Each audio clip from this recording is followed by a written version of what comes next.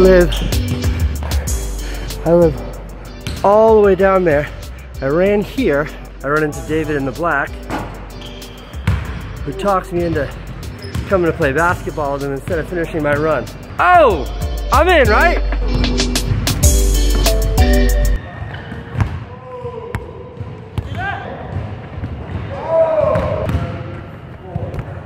Scored two in a row, but David still got the lead over there.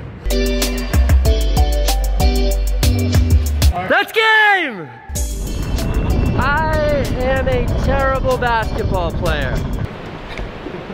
Now we got two boxes.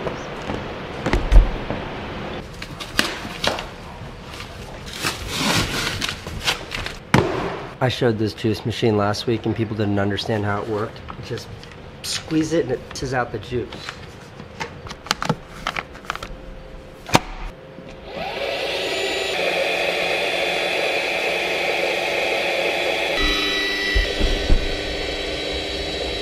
Really good. Uh, maybe you noticed, maybe you haven't. I've been shooting the vlogs on an entirely new camera setup for the last like four or five episodes. I'm getting a lot of questions about them. I want to do a little tech segment. I know a lot of people give me a hard time about tech segments and I'm super insecure about it. So if you're not interested in camera tech talk, go ahead and skip to this exact time right here. And that's when this segment will have concluded. Okay, okay, okay, okay. So, I've been shooting the vlog for the most part on this bad boy right here. This is the latest and greatest from Panasonic or Lumix. It's called the Lumix GH5. I like it. I like it a lot. It's almost right. Prior to that, I was shooting on this thing, the a6500 by Sony. This one's 2000. This one is like 1300. This one's nice and small and sleek. This thing's pretty large and bulky. Which one takes a better image? The Sony. Which one has better focus? The Sony. Which one has better low light performance? The Sony. Which one do I like better? The Lumix. Let me tell you why. It's simple. I can't vlog without a front facing screen. I, I can't do it. This thing does not have a front facing screen, so I love this camera, but it's gotta sit on the shelf. I need to be able to see my face when I vlog.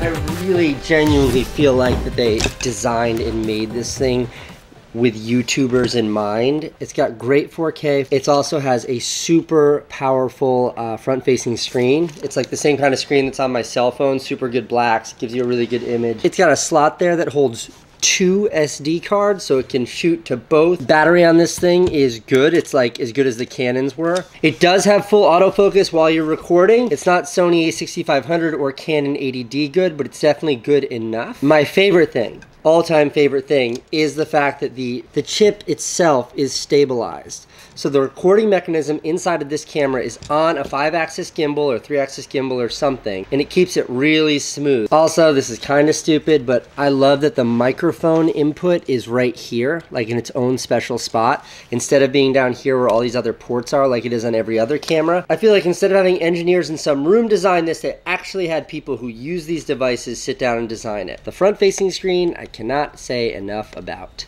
Okay, now what sucks about it. This has a tiny chip in it. See that little, little, little, little fella in there? See that chip size?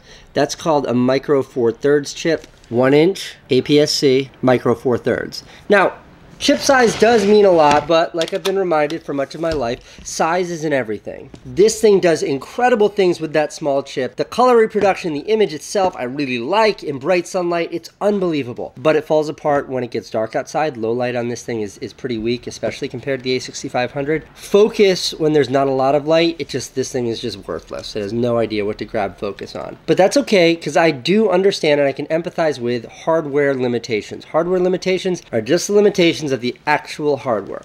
What I have no appreciation for are software limitations. Because what you can do with software is limitless and it should be perfect. So, this is probably my single biggest beef with this camera. I never know when it's recording.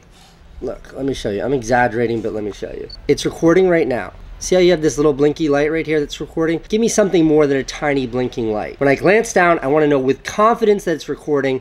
This light doesn't do it for me. But then I accidentally touch this really unnecessary menu over here. Now I look down. Is it recording or is it not recording? Why is that red record light covered by this menu? Who designed this interface? It's terrible. Even if I stop recording, this stupid menu stays up. So if I start recording again, I, it's...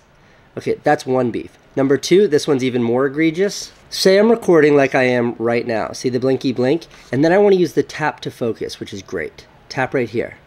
Cool, now it's focused on the nearest object.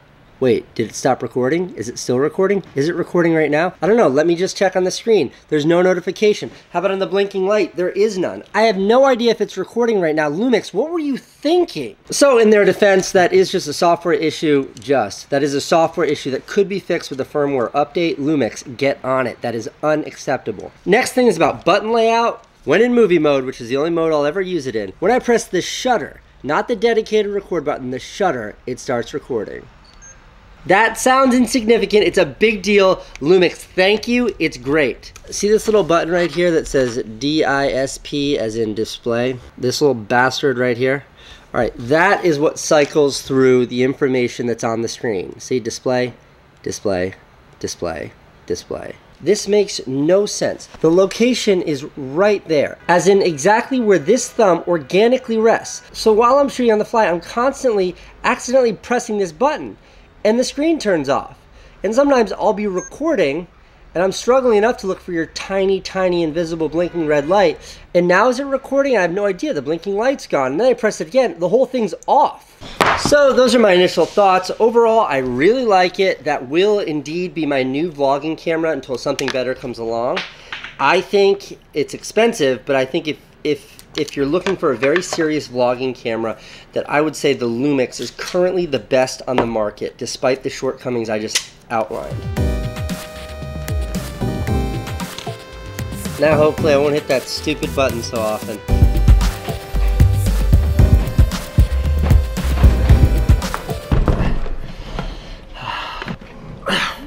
Okay, earlier today I filmed a thing where I used this juice machine full disclosure, this is my friend's startup and it's my favorite thing ever. It's like a juice press. You put the packets of juice in there, it squeezes them, delicious juice comes out. Then I saw that Juicero, the name of this was trending on Twitter because apparently you don't need this whole device. You just, you can just squeeze this packet of chopped vegetables and out comes the juice. So I thought I would test it. All right, so this is the packet of chopped vegetables. This is the extremely technologically advanced press that is required to squeeze the juice out. We're gonna now, did you see this? It's yeah. trending on Twitter right now. We're gonna see if you can actually extract the juice without this extremely advanced Tesla iMac-like machine. Ready?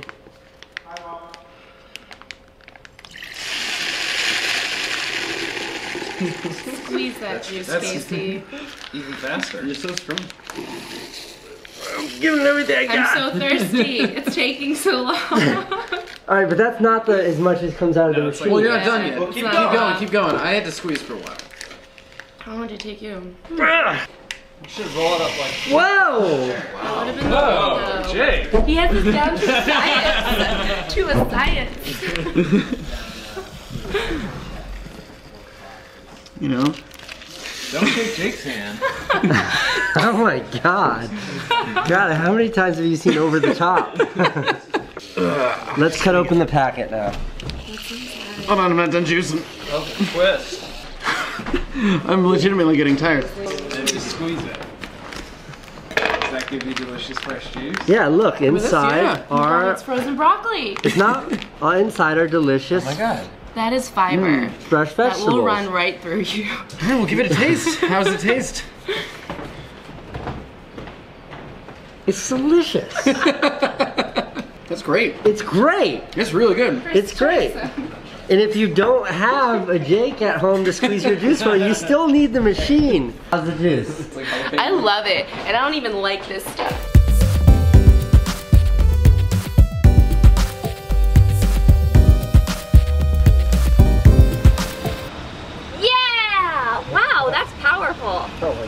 Nice. It's like making a toaster oven. cooking.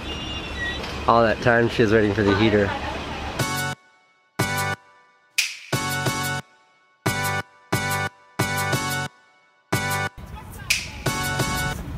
There's a woman squatting out of a taxi cab.